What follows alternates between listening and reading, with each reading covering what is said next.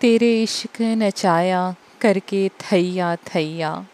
छेती आवी वे तबीबा, छेती बोड़ी वे तबीबा, नहीं ता मैं मर गईया। इश्क इंसान को कायनात के किसी दूसरे हिस्से में ले जाता है, ज़मीन पर नहीं रहने देता। और इश्क ला हासिल। लोग कहते हैं, इंसान इश्क के मजाजी से इश्क हकीकी तक तब सफ़र करता है शादी के कार्ड पर। मेरी हिस्से मज़ा इस वक्त मम्मी को बेहद बुरी लगी थी। देखो मुराद इस उम्र में लड़कियाँ बहुत आ, अच्छी लगती हैं मगर जिस लड़की के साथ शादी करनी हो उसे सिर्फ़ बीवी के तौर पर नहीं देखना चाहिए। माँ और दूसरे रिश्तों में भी देखना चाहिए। ऐसी लड़कियों को अपने अलावा किसी और में दिलचस्पी नहीं होती ना शौहर में ना बच्चों में ना ही किसी और में। मम्मी ने अपनी टोन तब्दील करते हुए एक बार फिर मुतनाज़ बयान दिया। इस पर बहस हो सकती है मम्मी मगर मैं बहस नहीं करूँगा। मुझे महर हर सूरत और हर हालत में पसंद है और मुझे उसी के साथ शादी करनी है। मैंने एक बार फिर अपना ऐलान दोहराया। महर के घर से अपने घर तक गाड़ी में मम्मी ने मुझे ऐसी लड़कियों के बारे में बेशुमार किस्से सुनाए। किसी एक किस्से से भी मेरी हिम्मत नहीं टूटी क्योंकि मुझे ऐसे ही लड़कियों में दिलचस्पी थी और इस स्पेशीज़ से नफ़रत थी जिस स्पेशीज़ की लड़कियों में से किसी को मम्मी अपनी बहू और मेरी बीवी के रूप में देखना चाहती थी। मुझे ठीक से याद नहीं कि मजहबी और पर्दा करने वाली लड़कियों के लिए मेरी नापसंदीदगी का आगाज़ कब हुआ था। मेरा ख्याल है स्कूल में और फिर कॉलेज में ये नापसंदीदगी अपने उरूज पर पहुँच गई थी। फिर कुछ वाक़ात भी ऐसे हुए जिन्होंने उन लड़कियों के बारे में मेरी राय को और ख़राब किया। अपने आप को पारसा और बाहया समझने और ज़ाहिर करने वाली ये लड़कियाँ किरदार के हवाले से दूसरी लड़कियों से ज़्यादा कमज़ोर होती हैं। बल्कि बाज़ मौाक़े पर तो दूसरी लड़कियों से ज़्यादा गिरी हुई हरकतें करती हैं। इस्लाम की जिन चीज़ों से मुझे इख्तलाफ था, उनमें से एक बुनियादी पर्दे का इशू ही था। मेरी समझ में कभी नहीं आया कि सिर्फ़ चेहरा और जिसम अच्छी तरह ढांप लेने से पारसाई का सर्टिफिकेट कैसे मिलता है। और ऐसा ना करने की सूरत में बेहयाई का ठप्पा कैसे लग सकता है? कनाडा में क़याम के दौरान ऐसी बहुत सी फैमिलीज़ की लड़कियों से मेरा आमना सामना होता रहा जो बज़ाहिर हर वक्त हिजाब ओढ़े रखती और अपने आप को प्रैक्टिसिंग मुस्लिम के तौर पर ज़ाहिर करती थी, मगर उनके साथ साथ वो अपने घर वालों से छुप कर ऐसी बहुत सी सरगर्मियों में हिस्सा लेती जो इस्लामी लिहाज से किसी भी तौर पर मुनासिब नहीं थी। मेरे नज़दीक किसी लड़की का बॉयफ्रेंड बनाना या स्मोकिंग करना और नाइट क्लब जाना काबिल एतराज़ नहीं था, मैं लिबरल था और इस बात पर फ़ख्र भी महसूस करता हूँ। मेरे नज़दीक काबिल एतराज़ सिर्फ़ वो मुनाफ़त और दोगलापन था जो ऐसी लड़कियों में कूट कूट कर भरा होता है। मेरे नज़दीक वो लड़कियाँ बेहतर हैं जो अपने आप को पारसा ज़ाहिर करने की सरतोड़ कोशिश करती फिरें बल्कि ज़िंदगी को सही मानों में इंजॉय करती हैं और जैसी होती हैं वैसी ही नज़र आती हैं। मगर मैं नहीं जानता मेरी मम्मी ने इस तरह की नेक परवीन बहू की फैंटसी या फैसिनेशन कब और कैसे डेवलप की थी। अगरचे वो खुद आ, नमाज़ वगैरह पाबंदी से पढ़ा करती मगर पर्दे की कुछ इतनी पाबंद नहीं थी। मगर अब मेरे बारे में वो जब भी सोचती तो मुझे सौ फ़ीसद यकीन है कि उनके तस्वुर में मेरे साथ जिस लड़की का इमेज आता होगा, उसने ज़रूर बुरका ओढ़ा होगा और सिर्फ़ बुरका नहीं, बल्कि अफ़गानी बुरका। मुझे तो ये भी यकीन था कि वो मेरे लिए ऐसी लड़की बीवी के तौर पर चाहती होंगी जो खुद मुझसे भी पर्दा करे और मेरे सामने भी तीन फुट लंबे घूंघट में ही नमोदार हो। और अब अगर खुशकिस्मती से उनकी पसंदीदा लड़की मेरे पसंदीदा हुलिये में निकल आई थी तो उन्होंने कोहराम मचा दिया था, यूँ जैसे वो मुझे अपनी मर्ज़ी की लड़की दिखाने नहीं ले गई थी, बल्कि उन्हें अपनी मर्ज़ी की लड़की दिखाने मैं ले गया था। जो भी था एक बात तो तय थी कि मैं अगर किसी लड़की से शादी करता तो वो महर ही थी। मम्मी चाहे उसे पसंद करें या ना करें, वो मुझे पसंद थी। और उस दिन उसके घर से वापसी के दौरान मम्मी से होने वाली गुफ्तु के बाद मैं तय कर चुका था कि मुझे अगर उसे शादी के लिए जान भी देनी पड़ेगी तो मैं दूँगा। और दूसरी तरफ़ मम्मी भी ये ठान चुकी थी कि वो किसी हालत में मुझे उस लड़की से शादी की इजाज़त नहीं देंगी। रात के खाने पर पापा से एक बार फिर उसी मौजू पर बात शुरू हो गई। खिलाफ रिवायत इस बार की बात शुरू करने वाला मैं था। पापा, आज मैं मम्मी के साथ आंटी सईदा के घर गया था। मैंने बेहद सादत मंदी से कहा, मम्मी ने दांत कचकचा कर मुझे देखा। ओ गुड, पापा मुस्कुराए। तो तुम्हारी मम्मी बहरहाल तुम्हें उनकी बेटी दिखाने के लिए ले जाने में कामयाब हो ही गई। उन्होंने एक नज़र मम्मी को देखा और फिर मुझे, क्या नाम है उस लड़की का? उन्होंने अपने जहन पर ज़ोर डालते हुए कहा, महर, मैंने बेख्तियार कहा। ओ हाँ तो कैसी लगी तुम्हें महर? उन्होंने बेहद दिलचस्पी के साथ मुझसे पूछा। मैंने एक नज़र मम्मी को देखा और फिर बड़े इतमान से कहा, मम्मी की चॉइस वाकई बहुत अच्छी है। मैं मम्मी की दिली कैफियत का अंदाज़ा लगा सकता था, यानी तुमको मेहर पसंद आ गई है। माँ पापा ने मुस्कुराते हुए कहा, उससे पहले कि मैं उनके सवाल का जवाब देता, मम्मी ने कहा, मगर मुझे वो लड़की पसंद नहीं है। पापा ने चौंक कर मम्मी को देखा, तुम्हें सईदा की बेटी पसंद नहीं है? उन्होंने कुछ हैरानगी से कहा हाँ मुझे वो पसंद नहीं है, मगर इतने अरसे से तो तुम हमेशा मुराद के लिए उसी का ज़िक्र करती रही हो। बल्कि तीन साल पहले तो तुमने मुराद का प्रपोज़ल भी उस लड़की के लिए दिया था। तब और बात थी, मगर अब और बात है। मम्मी ने हट धर्मी से कहा, अब और क्या बात है? पापा की हैरानगी में कुछ इजाफा हुआ। मेरा ख्याल है मुराद को तुम्हें ज़बरदस्ती लेकर गई होगी, फिर ऐसा क्या हो गया है? समी वो लड़की तो मुराद से भी ज़्यादा वेस्टर्नाइज्ड हो गई है। मम्मी ने पापा को हौलाना चाहा। अच्छा ये तो बहुत अच्छी बात है। पापा ने बड़ी इतमान के साथ स्वीट डिश खाते हुए कहा। इसका मतलब है कि मुराद और वो एक दूसरे के साथ बहुत खुश रहेंगे, क्योंकि मुराद को तो पहले ही एक ऐसी लड़कियाँ पसंद हैं। पापा ने एक नज़र मुझे देखा, मेरे होंठों पर मुस्कुराहट आ गई, मगर वो लड़की मुझे पसंद नहीं। सास को बहू कभी भी पसंद नहीं होती, तुम अपनी पसंद की लड़की को भी बहू बना कर लाओगी तो बाद में उसे नापसंद करने लगोगी। ये तो फिर लड़की ठीक है। कम अज़ कम जिसने शादी करनी है, उसे तो पसंद है। पापा ने एक बार फिर मुस्कुराते हुए मुझे देखा। मम्मी को उनके अंदाज ने और बरहम किया। हर वक्त का मज़ाक अच्छा नहीं होता। मेरा ख्याल है इस पर मज़ाक आप फरमा रही हैं। पापा ने उनकी बात काटी। पहले दिन रात आप उसी लड़की के कसीदे पढ़ रही थी। वो लड़की ऐसी है, वैसी है। और अब जब आपके बेटे को वो लड़की पसंद आ गई है तो आपको उस पर एतराज़ात होने लगे। पापा ने संजीदा होते हुए कहा वेस्टर्नाइज हो गई है तो कोई बात नहीं, मुराद भी ऐसा ही है और अगर कल को दूसरी लड़की भी लाएँगे, तब भी मुराद के नक्शे कदम पर ही चलेगी वो। फिर आप क्या करेंगी? क्या मियाँ बीवी को आपस में लड़वाएँगी? मैं, मम्मी ने कुछ कहना चाहा, पापा ने उनकी बात दोबारा काट दी। आप ये याद रखें कि ये शादी आप नहीं कर रही, मुराद कर रहा है। लड़की को उसकी पसंद का होना चाहिए। आपकी शादी मुझसे हो चुकी है।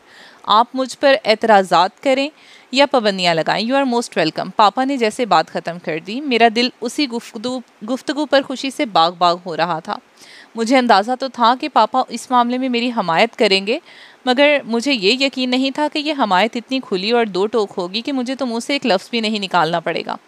तुम उन लोगों को मुराद की पसंदीदगी से आगाह कर दो और उन्हें हमारे यहाँ इन्वाइट करो, पापा ने मम्मी से मज़ीद कहा। पर आप मेरी भी तो सुने, मम्मी ने एहतजाज की एक आखिरी कोशिश की। ज़रूर सुनूँगा, मगर मुराद की शादी के बाद पापा ने कहा। अब अगर उसने शादी में दिलचस्पी ले ही ली है तो फिर अच्छा है कि जल्द अज जल्द उसकी शादी हो ही जाए। पापा ने टेबल से उठते हुए कहा, मम्मी ने कच्चा चबा जाने वाली नज़रों से मुझे देखा। मम्मी, ये ज़रा फिरनी मुझे दे दें, मुझे लगता है ये अच्छी बनी है। मैंने बेहद मासूमियत से मम्मी की नज़रों को नज़रअंदाज करते हुए फिरनी के डोंगे की तरफ़ इशारा किया। मम्मी का दिल चाह डोंगा मेरे सर पर मार दें, मगर वो माँ थी, उन्होंने डोंगा मुझे थमा दिया। तुम आखिर चाहती क्या हो? अम्मी ने रात को बिलाखिर तंग आकर मुझसे पूछा, मैं कॉन्सर्ट से वापसी पर कुछ देर पहले ही कपड़े चेंज करके अपने बेड पर आकर लेटी थी जब वो मेरे कमरे में आ गई। मैं तो कुछ भी नहीं चाहती। मैंने तीन साल में बार बार दोहराया जाने वाला जुमला दोहराया। मैं वाकई अब क्या चाह सकती थी? तो फिर मुराद पर क्या एतराज़ है तुम्हें? अम्मी ने एक बार फिर मुराद का ज़िक्र छेड़ते हुए कहा, कोई एतराज़ नहीं है, मगर मैं शादी नहीं करना चाहती। हम तंग आ गए हैं तुम्हारा इनकार सुन सुनकर तुम शादी नहीं करना चाहती तो कम अज़ कम ये तो बताओ कि क्यों नहीं करना चाहती? अम्मी ने तकरीबन जिज होते हुए कहा, क्योंकि मैं किसी को धोखा नहीं दे सकती, क्योंकि मैं मोमी की जगह पर किसी को अपनी ज़िंदगी में नहीं ला सकती, क्योंकि मैं दोगली ज़िंदगी नहीं गुजार सकती। मेरे पास उनके सवाल का जवाब था, मगर उस जवाब को उन तक पहुँचाने के लिए हिम्मत नहीं थी। पता नहीं क्यों नहीं करना चाहती, मैंने अपना माथा रगड़ते हुए कहा, तुम हमारी इकलौती औलाद हो, तुम्हें इसका एहसास है। आज मुझे या तुम्हारे बाबा को कुछ हो जाए तो तुम्हारा क्या होगा, मेहर? ये भी तो हो सकता है कि आप से पहले मुझे ही कुछ हो जाए, फिर कम अज़ कम आपको मेरी वजह से कोई टेंशन नहीं रहेगी। मैंने इतमान से कहा। मेरे इतमान ने मेरी माँ को हौलाया। किस तरह की बातें मुँह से निकाल रही हो? तुम्हें क्यों कुछ होगा? मगर देखो महर, शादी तो हर लड़की को करना ही होती है। फिर तुम्हें अगर कोई पसंद है तो हमें उस पर कोई एतराज़ नहीं। हम तुम्हारी मर्ज़ी की जगह पर तुम्हारी शादी कर देते हैं। मेरी मर्ज़ी की जगह? मैंने सोचा था। मर्ज़ी की जगह? मेरी पसंद के मर्द से। और मेरी पसंद का मर्द तीन साल पहले क्या सोच रही हो? अम्मी ने मेरी सोच के तसलसल को तोड़ा। कुछ नहीं, मैंने उनका चेहरा देखा। मुझे कोई पसंद नहीं। अम्मी को यकीन नहीं आया। ये तुम्हारी ज़िंदगी का मामला है। अगर तुम्हें जानती हूँ अम्मी, ये मेरी ज़िंदगी का मामला है, मगर मुझे कोई पसंद नहीं। मैंने उनकी बात काट कर कहा। वो कुछ देर मेरा चेहरा देखती रही। अगर पसंद नहीं है तो फिर हमारी पसंद से शादी करने पर क्या एतराज़ है तुम्हें? मैं चुप रही। और फिर देखो इस पर लड़का तुम्हारे जैसा है। आज़ाद ख्याल तुम पर कोई रोक टोक नहीं लगाएगा, क्योंकि उसे तुम्हारे जैसी लड़कियाँ अच्छी लगती हैं। है भी इकलौता, जिसका तुम्हारा, जिस तरह का तुम्हारा मिजाज है, तुम्हें किसी के साथ वहाँ एडजस्टमेंट का मसला नहीं होगा। मैंने अम्मी का चेहरा देखा। वो जानती थी मुझे ज़िंदगी में कभी भी, कहीं भी किसी के साथ एडजस्टमेंट का मसला नहीं हो सकता था। मुझे खामोश रहना आता था और सब कुछ अपने अंदर रखने की आदत थी। सफ़िया बहुत अच्छी है, मैं पच्चीस साल से जानती हूँ उसे, तुम्हें बड़े प्यार के साथ रखेगी, तुम्हारे बाबा भी यही चाहते हैं। और देखो मेहर, इस बार तो हमने इस तरह का लड़का पसंद किया है जिस तरह की तुम हो। अम्मी ने मेरी खामोशी को मेरी आमादगी समझते हुए करदरे जोश से कहा, जिस तरह की मैं हूँ और मैं किस तरह की हूँ, मैंने अपने अंदर झाँक कर अपना अक्स देखने की कोशिश की। मैं पता नहीं किस तरह की थी, मुझे नहीं शादी करनी। अम्मी को मेरे जवाब ने नाराज़ किया, तुम अपने इनकार से हमारे पछतावों में इजाफा मत कहो। पहले ही मैं और तुम्हारे बाबा पछताते हैं कि हमें तुम्हें इतनी आज़ादी नहीं देनी चाहिए थी। जिस हुलिये में तुम हर वक्त रहती हो, उस हुलिये की वजह से ख़ानदान और जानने वाले तो पहले ही हमारी कोशिशों के बावजूद तुम्हारा प्रपोज़ल कबूल करने पर तैयार नहीं। वरना यही लोग थे जो तीन साल पहले हमारे आगे पीछे फिरते थे और अब वो साफ़ कहते हैं कि महर ज़रूरत से ज़्यादा आज़ाद ख्याल है और हमें इस तरह की बहू नहीं चाहिए और हर हम शर्मिंदा होकर रह जाते हैं कि उनसे क्या बहस करें। ज़ाहिर है, खुद हमारा कोई बेटा होता तो हम भी उसके लिए तुम्हारे तौर तरीक़ों वाली बहू तो कभी भी ना लाते। सारा मेल जोल हमारा, हमारी ही तरह की फैमिलीज़ में है और हम जैसी फैमिलीज़ में इतनी आज़ाद ख्याल लड़कियों को कौन कबूल करता है? अब सफ़िया की सूरत में मैं तो समझती हूँ, एक फ़रिश्ता ही आया है कि जो बेचारी हमारे ख़ानदानी वैल्यूज़ रखने के बावजूद तुम्हें बहू बनाना चाहती हैं, क्योंकि तुम्हारी तरह उसका बेटा भी बहुत आज़ाद ख्याल है। किसी और जगह तुम्हारी शादी करने की कोशिश करेंगे तो पता नहीं कैसे लोगों से सामना हो। यहाँ कम अज़ कम मुझे ये तो तसल्ली है कि लड़के के माँ बाप को हम जानते हैं और वो दोनों बहुत अच्छे लोग हैं। मगर तुम हो कि तुम्हें इस बात की परवाह ही नहीं कि माँ बाप क्या सोच रहे हैं, क्या चाहते हैं। तुम्हारी वजह से तुम्हारे बाबा हर वक्त मुझे मलामत करते रहते हैं, क्योंकि उन्हें लगता है मैंने तुम्हें कभी रोका नहीं, कभी समझाया नहीं। उन्हें क्या पता कि मैं 24 घंटे यही काम करती हूँ, मगर तुम सुमन बुकमन बनकर मेरे सामने बैठी रहती हो। मजाल है तुम पर कोई असर हो जाए। इससे तो अच्छा था कि एक औलाद भी ना होती। कम अज़ कम तुम्हारी वजह से लोगों के सामने शर्मिंदगी तो ना उठानी पड़ती। मास्टर्स करना था तुमने, वो कर लिया, अब क्या कर रही हो? नमाज़ कुरान तो कब का छोड़ दिया तुमने? सारा दिन तुम बाहर फिरती रहती हो, सारी रात तुम केबल लगा कर बैठी रहती हो। वो बंद होती है तो तुम स्टीरियो लगा लेती हो, वो बंद होता है तो तुम घंटों सोती रहती हो, या फिर फ़ोन लेकर बैठी रहती हो। तुम्हें ना किसी आए गए का पता, ना ही इस बात की परवाह कि मैं और तुम्हारे बाबा तुम्हारी हरकतों को देख देख कर कितना परेशान होते रहते हैं। ये सब कुछ उस सोबिया की वजह से हुआ है। हमें चाहिए था हम शुरू में ही तुम्हारी दोस्ती उससे ख़त्म करवा देते। ना तुम्हारा उससे मेल जोल होता, ना तुम उसके रंग में रंगती। मगर हम लोग तो यही समझते रहे कि हमने अपनी औलाद की तरबियत इतनी अच्छी की है कि वो सोबिया जैसी सैकड़ों लड़कियों के साथ फिर भी वैसी नहीं हो सकती। हमें क्या पता था हमारी अपनी औलाद ही हमारे लिए इतनी परेशानियाँ खड़ी कर देगी। अम्मी गुस्से में बोलते हुए मेरे कमरे से निकल गईं। मैं उनके जज्बात को समझ सकती थी। उनको मुझ पर जितना गुस्सा और शर्मिंदगी थी, मुझे अपने आप पर उससे कहीं ज़्यादा गुस्सा और शर्मिंदगी थी। अगर महर समी का बुत किसी सड़क पर लगा होता तो इस पर पत्थर फेंकने वालों में सबसे पहली मैं होती। डाउन विद महर समी में नारे लगा लगा कर अपना हल्क ज़ख्मी कर लेती। मुझे अगर दुनिया में कुछ और अच्छा नहीं लगता तो महर समी कैसे अच्छी लगती? ये सब कुछ महर समी की वजह से ही तो हुआ था। अगर वो ना होती तो मैं नंगे पाँव और नंगे सर दुनिया में खड़ी होती।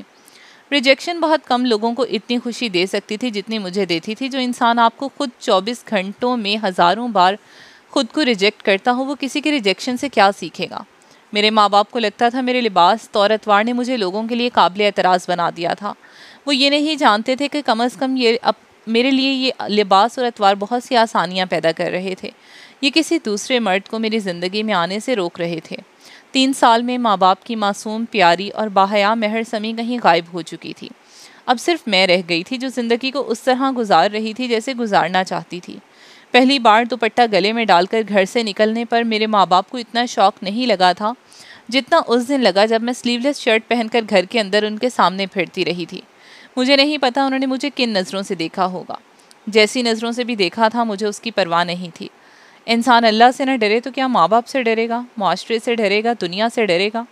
मुझमें आने वाली तब्दीलियों ने यकीनन मेरे माँ बाप की रातों की नींदें उड़ा दी थी और वो दोनों मुझे समझाने की जितनी कोशिश कर सकते थे, करते रहे। अम्मी कई माँ मुझे अजाब की वईद वाली आयात और अहादीस का तर्जुमा कर कर सुनाती रहीं, पर महर समी अब किस अजाब से डरती। तूफ़ान नूह तो उसकी ज़िंदगी में आकर गुजर चुका था और उस तूफ़ान के बाद महर समी की ज़िंदगी में तो कोई कश्ती तक नहीं बची थी। फिर क्या बचाना, क्या छुपाना?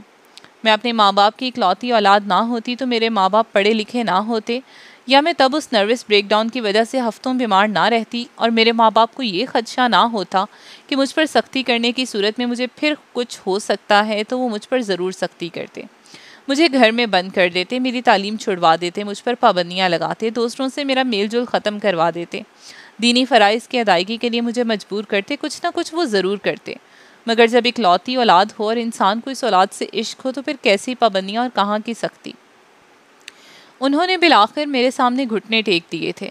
ये सोच लिया था कि आज की लड़कियों की तरह हो गई है। ये भी शुक्र था कि आवारा नहीं हुई थी। सिर्फ़ जदीद ज़माने के तकाज़ों के मुताबिक चल रही थी और जो कुछ कर रही थी, वो तो मेरी उम्र की सारी लड़कियाँ ही करती हैं।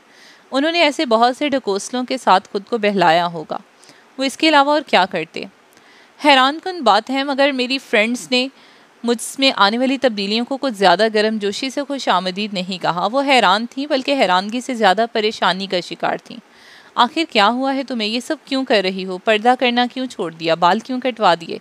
इस तरह के कपड़े क्यों पहन रही हो? इतनी चुप और संजीदा क्यों रहने लगी हो? नमाज़ पढ़ना क्यों छोड़ दी? वो वक्ता फ़वक्ता मुझसे ये सवालात पूछती रहती। ऐसे ही पता नहीं, दिल नहीं चाहता, कुछ नहीं, वैसे ही, कोई वजह नहीं नहीं कह कह कर उनके सवालों के जवाब देती रहती। और वो इन सब सवालों की बजाय अगर कभी गलती से या इतफाक़न मुझे ये पूछ लेती, क्या तुमको मोहब्बत हो गई? तो मैं उनसे झूठ ना बोलती। मैं मोमी के बारे में उन्हें सब बता देती, मगर उन्होंने कभी मुझसे ये सवाल ही नहीं किया। जैसे कभी कोई मछली से ये नहीं पूछता कि क्या वो खुशकी पर रह सकती है। बिल्कुल ऐसे ही उनका ख्याल था, महर मोहब्बत नहीं कर सकती। महर और मोहब्बत नहीं करेगी, मगर शायद वो भी अपनी जगह ठीक थी। महर समी जैसी लड़की जो पास से गुजरने वाले खूबसूरत से खूबसूरत मर्द को नज़र उठाकर नहीं देखती थी, वो मोहब्बत कैसे कर सकती थी? उनको आखिर शक कैसे होता मुझ पर? जब अपना हुलिया बदलने के बाद भी मैं लड़कों के नाम से बिदकती थी बॉयफ्रेंड बनाना बस ये एक काम था जो मैं नहीं कर सकी।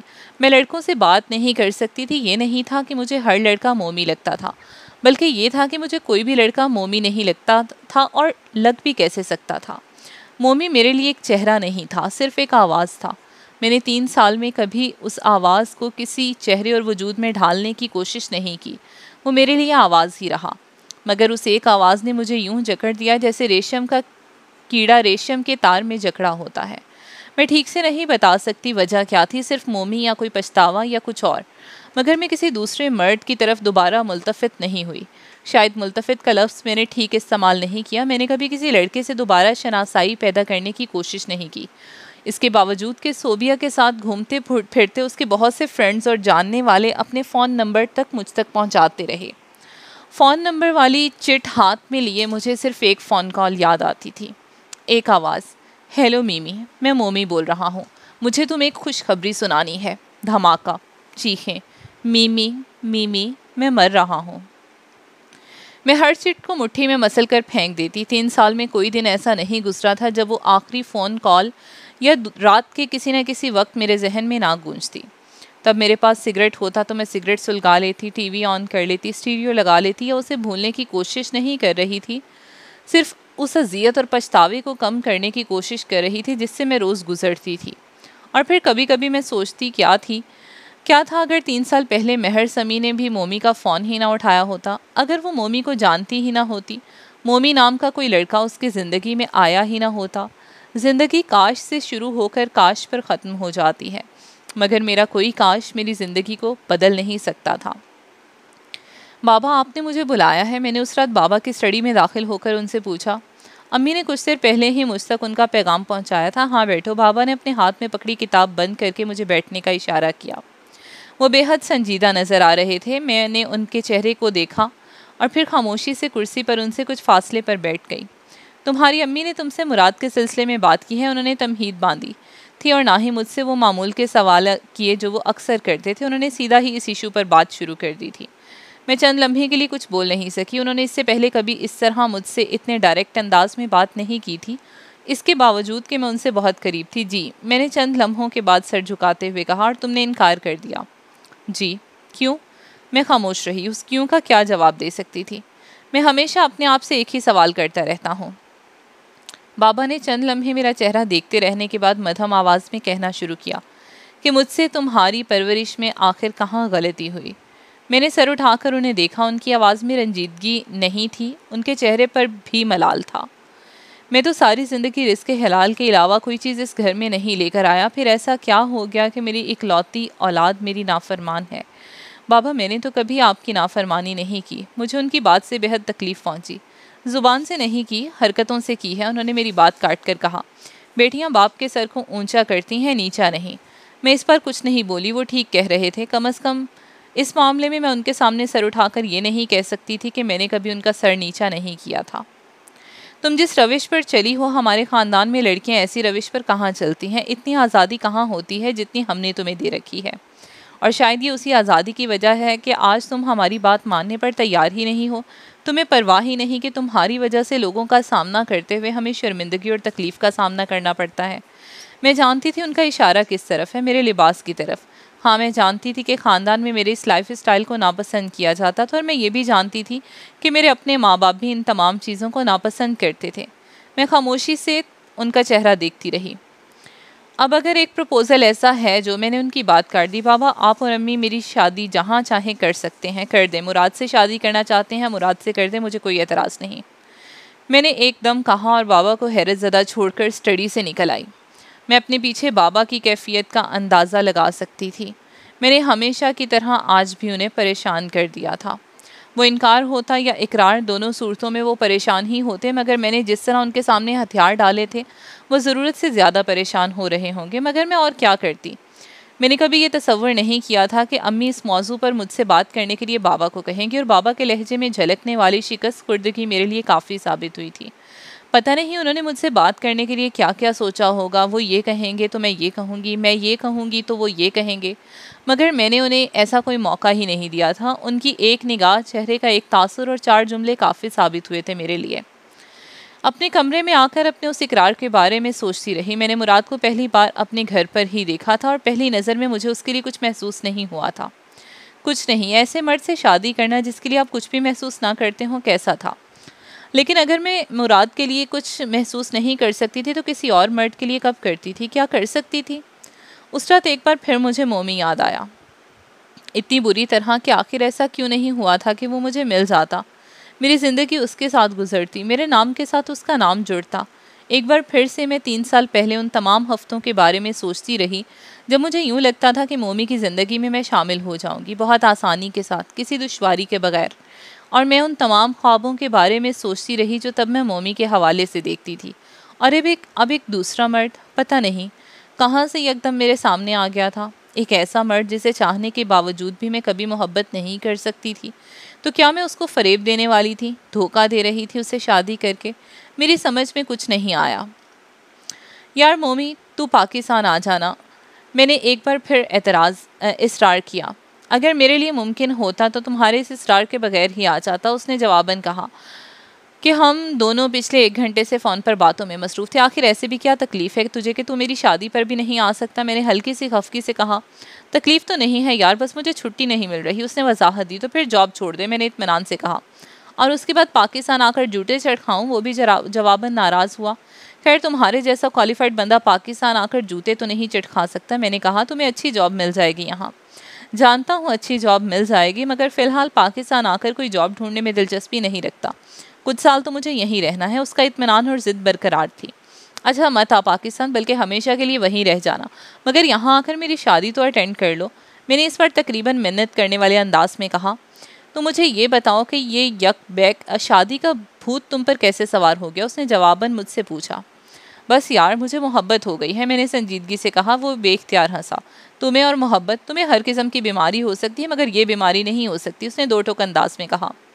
तुम यकीन करो या ना करो, तुम्हारे यार को इस पर यही बीमारी हो गई है। क्यों? तुम्हारी अकल क्या घास चढ़ने चली गई है? उसने अफसोस करते हुए कहा हाँ मुझे भी लगता है, वक्ती तौर पर मेरे दिमाग के सारे बल्ब फ्यूज़ हो गए हैं। अलबत्त आज दिल, आजकल दिल बड़ा रोशन रोशन है, उस, मैंने गहरा सांस लेते हुए कहा। मैं तुम्हें मोहब्बत से मना नहीं करता, मगर यार ये शादी शादी जैसी मुसीबत मोल लेने के लिए किसने कहा? वो भी संजीदा होते हुए बोला। मेरे माँ बाप ने, मैंने बेसाख्ता कहा। अच्छा और तुम तो बड़ी फर्मा बरदार औलाद हो माँ बाप की कि फ़ौरन गर्दन हिलाते हुए उनकी ख्वाहिश पूरी करने के लिए तैयार हो गए। यार, मैं एक लौती औलाद हूँ अपने माँ बाप की, उनके बड़े अरमान हैं मेरे लिए, मैंने कहा। उनके हमेशा से ही बड़े अरमान थे तेरे लिए, जिन पर तूने हमेशा पानी फेरा है। फिर आखिर अब क्या तकलीफ़ हो गई तुझे कि सादतमंदी का ड्रामा कर रहा है? वो मुतासर हुए बगैर बोला ड्रामा नहीं कर रहा, बताया तो है तुझे कि मोहब्बत हो गई। नकली वाली तो तुझे पहले ही सैकड़ों बार हुई है, असली वाली के तो काबिल नहीं है, उससे मेरी बात काट कर कहा तो मान या ना मान, बहरहाल इस बार मुझे वाकई असली मोहब्बत हो गई है। अच्छा और वो कौन सी लड़की जिसकी ज़िंदगी बर्बाद करने का फ़ैसला तुमने किया है? उसका नाम मेहर है। मैंने उसके तंज को नज़रअंदाज करते हुए कहा यह नाम तूने खुद रखा है, वो मशकूक हुआ। नहीं यार, उसका नाम वाकई महर है, मैंने जल्दी से कहा। मैंने उसे लिबर्टी बुक्स में देखा था, मैंने बताना शुरू किया, समझो लव एट फ़र्स्ट साइट हुआ है। हमेशा की तरह उसने लुकमा दिया। मैंने उसकी बात को नज़रअंदाज किया और इत्तेफाक देखो कि मम्मी पिछले तीन साल से उसी एक लड़की के साथ मेरी मंगनी की कोशिश कर रही थी और मैं मान नहीं रहा था। मैंने एक्साइटेड होते हुए बताया और अब तीन साल के बाद मम्मी ज़बरदस्ती मुझे उस लड़की के घर उसे दिखाने के लिए ले गई तो मैं वहाँ जाकर हक्का बक्का हो गया। मेरे तो ख्वाबो ख्याल में भी नहीं था कि मुझे वो वहाँ मिलेगी। फिर मोमी ने थोड़ी दिलचस्पी ली, फिर बस अब शादी हो रही है। यकीनन खूबसूरत लड़की होगी। उसने तबसरा किया। वो तो ज़ाहिर है, है और फैशनेबल भी। हाँ यार तुझे पता तो है मेरी पसंद का मैंने उसकी बात काट कर कहा। वो बिल्कुल वैसी ही है जैसी बीवी मेरी हमेशा से आइडियल रही है। चल फिर ऐश कर उसने कहा। और मैं तो करूँगा मगर तू पाकिस्तान आना। यार तेरी सुई बस मेरे पाकिस्तान आने पर ही क्यों अटक गई है? वो झिल्लाया। ठीक है, अगर मेरी शादी पर नहीं आओगे तो कल को मैं तुम्हारी शादी पर नहीं आऊँगा, मैंने उसे धमकाया।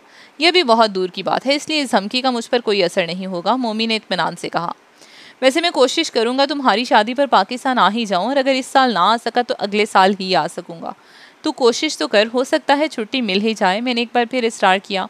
हाँ कोशिश तो मैं करूँगा ही, मगर मुझे कुछ ज़्यादा उम्मीद नहीं है, वो कह रहा था। तुम अपनी शादी की तस्वीरें मुझे भिजवाना अगर मैं ना आ सका तो। फ़िलहाल तो मैं सिर्फ़ तुम्हारे आने का ही इंतज़ार करूँगा, तस्वीरों की बात मत करो, मैंने उसे टोका, वो हंसने लगा। नस्बत तय होने के चंद हफ्तों के अंदर वो मेरी बीवी बनकर मेरे घर पर थी। वो मेरी ज़िंदगी का खूबसूरत तरीन दिन था।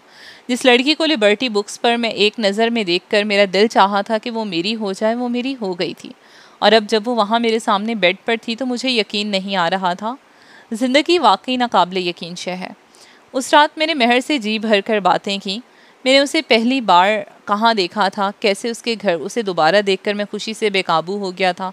उसे शादी के लिए मुझे कितने जतन करने पड़े थे, मैंने उसे सब कुछ बताया। अपने दिल की हालत, आइंदा आने वाली ज़िंदगी के हवाले से मेरे मंसूबे, मेरे ख्वाब, ख्वाहिशात, सब कुछ। फिर यकदम मुझे एहसास हुआ, वो बिल्कुल खामोश है। खामोशी इतनी हैरान कन बात नहीं थी, ज़ाहिर है, वो पहली रात मुझसे इस तरह की बातें तो नहीं कर सकती थी जैसे मैं कर रहा था। मगर वो तो मुस्कुरा तक नहीं रही थी। उसका चेहरा बेतासुर था।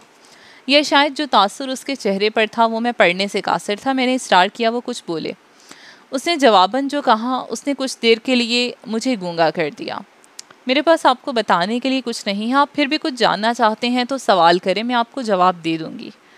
उसकी बात से ज़्यादा उसके अंदाज ने मुझे चौंकाया। क्या वाकई उसके पास मुझे खुद से बताने के लिए कुछ भी नहीं था? और अगर नहीं था तो क्यों नहीं था? वह हैरानगी से मेरा चेहरा देख रहा था मुझे अंदाज़ा नहीं था कि मेरी बात उसे इतना हैरान करेगी। कुछ देर वो मुझे देखता रहा उसने कुछ और कहने के बजाय एक डायमंड रिंग मेरे हाथ में पह, पहना दी। तुम्हें ये अच्छी लगी? उसने मुझे उस रिंग पर नज़र जमाए देखकर पूछा हाँ मैंने यक लफ्सी जवाब दिया। वो मुस्कुराया। एक बार फिर बातें करने लगा। मुझे उसकी बातों में कोई दिलचस्पी नहीं थी। मुझे अपने हुसन के कसीदे सुनने में भी कोई दिलचस्पी नहीं थी और मुझे उसके इजहार मोहब्बत में भी दिलचस्पी नहीं थी। उसे और मुझे कागज़ के एक टुकड़े पर किए जाने वाले दो दस्खतों ने इकट्ठा किया था और मैं इस कागज़ पर दस्खत करके ये कबूल किया था कि वो मेरा शौहर है, जिसके साथ मैं ज़िंदगी गुजारूँगी, जिसे मेरे जिस्म पर इख्तियार होगा, उस जिस्म पर जिसे अपने घर लाने के लिए उसने अभी इस कागज़ पर दस्तखत किए। दिल के अंदर ला कर बिठाने के लिए मजबूर नहीं होना पड़ेगा, क्योंकि उसको मेरे दिल से कोई दिलचस्पी नहीं थी। और ज़िंदगी के छब्बीसवें साल मुराद अली को बिलाखिर इश्क नाम की बीमारी ने शिकार कर ही लिया था। और उससे भी ज़्यादा मुजहका खेज़ बात यह थी कि वो अपनी बीवी से इश्क करने वाला दुनिया का पहला मर्द होगा। लेकिन मैं करता क्या? महर ने मुझे इस कदर बेबस कर दिया था कि उसके अलावा मेरे जहन में कुछ आता ही नहीं था। लिबर्टी बुक्स पर एक बार फिर देखे जाने के बाद अगर वो ना मिलती तो शायद मैं कुछ अरसे के बाद उसे भूल जाता। पर अब जब वो मेरी ज़िंदगी में शामिल हो गई थी तो मैं 24 घंटे उसके बारे में सोचता था। हर बार जब मैं उसे देखता तो वो मुझे पहले से ज़्यादा खूबसूरत लगती। हर बार वो एक नया लिबास पहनकर मेरे सामने आती तो नए सिरे से मेरे होश उड़ा देती। मुझे पहले ही लगता था उस पर स्याह रंग ही क़यामत उठाता होगा, मगर बाद में मुझे एहसास हुआ कि उस पर हर रंग यूँ ही दो आतिशा होता है। वो हर रंग को आग लगा देती थी। शादी के शुरू के दिनों में मैं खुद को खुशकस्मत खुशकिस्मत तरीन मर्द समझता था। अपनी मर्ज़ी और पसंद की शादी के बाद हर मर्द उन्हीं एहसास से गुजरता है। मैं उसे हनी मून के लिए भूल बन ले आया था। वहाँ अपने दो हफ़्ते के क़याम के दौरान मुझे महर के बारे में बहुत अजीब सा एहसास हुआ। उससे गुफ्तु शुरू करना जितना मुश्किल काम होता, उसे जारी रखना उससे ज़्यादा मुश्किल काम था। वो बाज़ दफ़ा ऐसा जवाब देती कि मैं अगले कई मिनट तक कुछ भी नहीं कह पाता। यूँ लगता जैसे वो अच्छे महजब जुमलों में लपेट कर मुझे कह रही हो शट अप और मैं मुँह बंद कर लिया करता था। पीसी भूरबन में पहली रात क़याम के दौरान मैंने डिनर करते हुए उससे पूछा, तुमने मुझे इस शाम जब अपने घर पर देखा तो तुम्हें क्या एहसास हुआ? किस शाम? जब मैं तुम्हें देखने आया था, कोई एहसास नहीं हुआ, आप मेहमान थे। उसने बहुत सादा से लहजे में कहा, मगर मैं तुम्हें कैसा लगा? था, उसने इश्तियाक से पूछा, मैंने आप पर गौर नहीं किया था, मुझे धचका सा लगा। मैं इतनी आम शक्ल सूरत का मालिक तो नहीं था कि मुझ पर गौर ही ना किया जाता और वो भी उस सूरत में, जब एक लड़की ये जानती हो कि उससे मेरी मुलाकात उसी गौर के लिए करवाई जा रही थी। मुझे मेहर की बात पर यकीन नहीं आ रहा था, लेकिन अगर वो ये कह रही थी कि उसने गौर नहीं किया तो मैं उससे ये कैसे मनवाता कि उसने गौर किया था। अच्छा और बाद में जब मेरे यहाँ तुम्हारे लिए प्रपोज़ल आया, तब मैंने हिम्मत ना हारते हुए पूछा, तब क्या? वो खाना खाते खाते रुकी। तब तुम्हें क्या एहसास हुआ? किस बारे में? उसने उसी अंदाज में पूछा, मेरे बारे में। मुझे लगा मैं अपने आप को कहीं नीलामी के लिए पेश कर रहा था। कोई एहसास नहीं हुआ था। उसका लहजा और अंदाज अब भी उतना ही बेतासुर था, वो दोबारा चावल खा रही थी। मैं बेयकीनी से उसे देखने लगा। तब भी कोई एहसास नहीं हुआ था जब तुम्हें पता चल गया कि तुम्हारी शादी मुझसे हो रही है।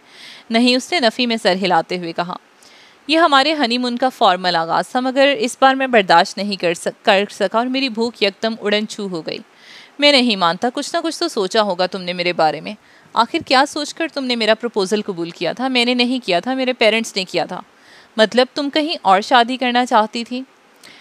मेरे पैरों के नीचे से ज़मीन निकल गई थी, उसके एक जुमले से। मैंने ये तो नहीं कहा, उसने मध्यम आवाज़ में कहा, फिर तुमने मुझसे शादी क्यों की? मेरी तशवीश अभी भी कम नहीं हुई थी। मेरे पेरेंट्स ने कहीं ना कहीं तो मेरी शादी करनी थी, सो आपसे कर दी। वो जिस बात को इतने आम अंदाज में कह रही थी, वो इतने आम अंदाज में कहने वाली नहीं थी।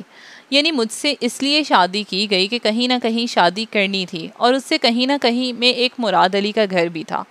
उससे पहले कभी मुराद अली ने इतनी बेकदरी और बेतौकीरी नहीं महसूस की थी।